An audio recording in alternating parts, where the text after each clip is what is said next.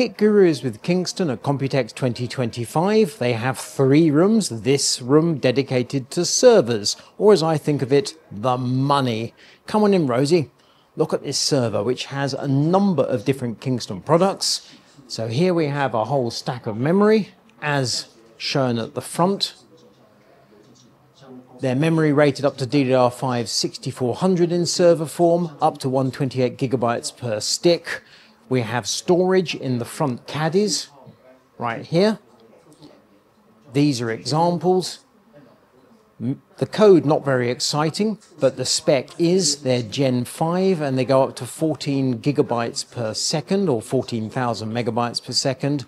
So very fast, same sort of uh, speed as desktop SSDs. I'm surprised to see how fast they can be. And then we have a M.2. And if we look here, we see the boot drive for the server is a conventional M.2 albeit quite a fast M.2, but there we go. So one little M.2 to get it going, a whole heap of enterprise drives to keep it running, and a ton of memory. And that's how Kingston makes their cash.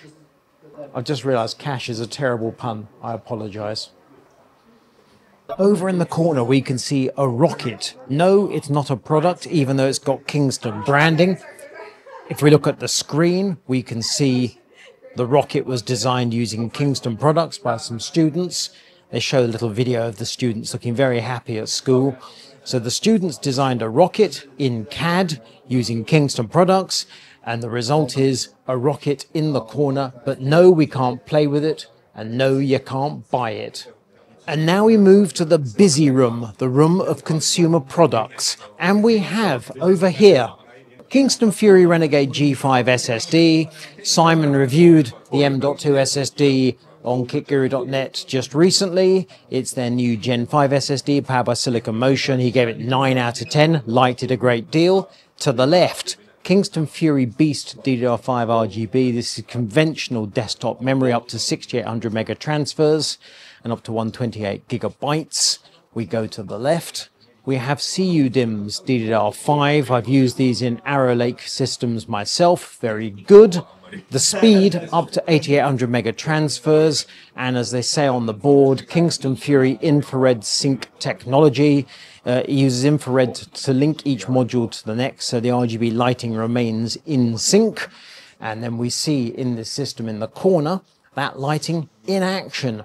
The system running on their own DDR5 memory with a Gen 5 SSD, exactly as we'd expect. This is good stuff and we know all about it. This is the really good stuff. We have here Kingston Fury Impact DDR5 CAMM2 on a Gigabyte motherboard. This is obviously a prototype because this isn't uh, a system that's yet available to the public.